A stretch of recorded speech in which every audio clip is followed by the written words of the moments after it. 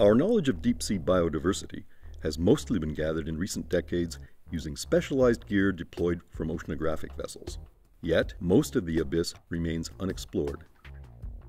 The Census of Marine Life, a 10 year worldwide collaboration of marine biologists, concluded that the deep ocean is vastly underrepresented in their marine species database, the largest in the world.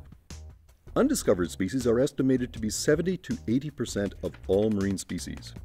Since to date, 260,000 species have been identified, it's likely that 700 to 800,000 marine species remain unknown. Most of these unknown species are likely to live in the deep ocean. In this graph, surface and shallow waters are shaded orange, indicating large numbers of identified species, while blue and green shading in the deep ocean indicate a scarcity of records.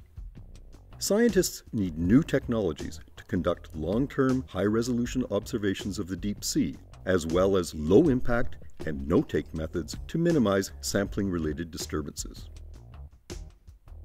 Video systems connected to cabled seafloor observatories are one such technology which can help researchers better document marine biodiversity.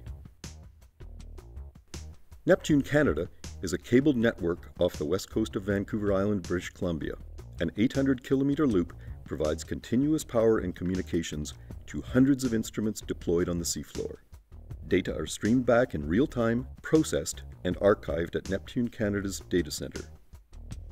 Four remotely operated seafloor video systems with numerous co-located instruments are currently being used by scientists to observe continental slope environments.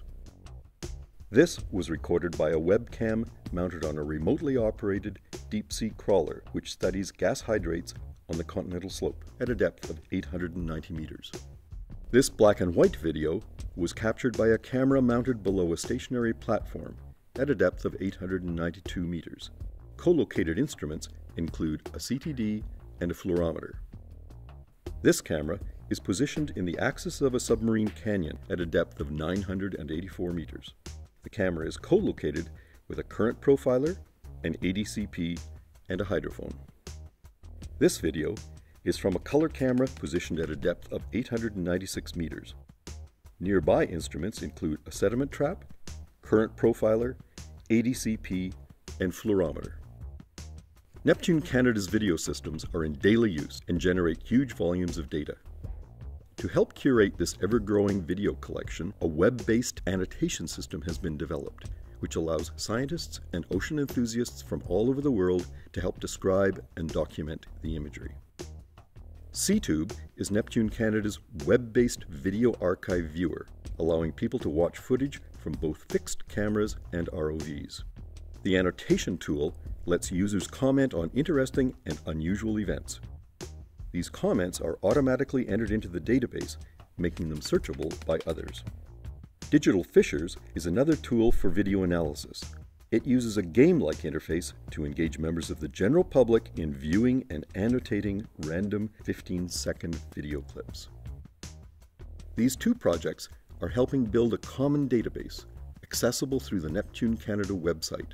By querying the database, Scientists can look for videos of interest and freely download imagery along with data from co-located scientific instruments.